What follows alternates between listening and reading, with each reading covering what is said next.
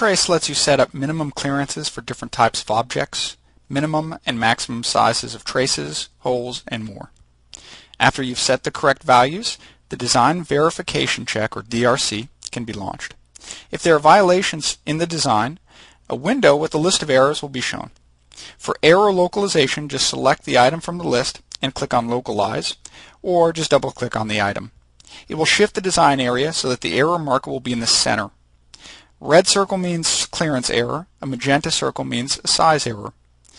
After you found the error and you fixed it, it's possible to run the DRC again directly from the window with the list of errors.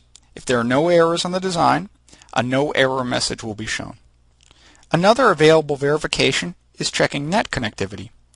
It verifies whether all the nets have been completely routed and it returns a list of unconnected nets and their pins, or if everything's great, a no error message.